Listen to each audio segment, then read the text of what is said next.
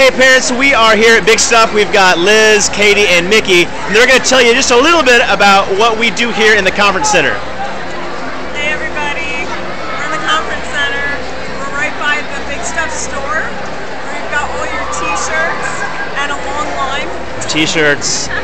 and behind us is the Connect Lab with any questions that anybody has.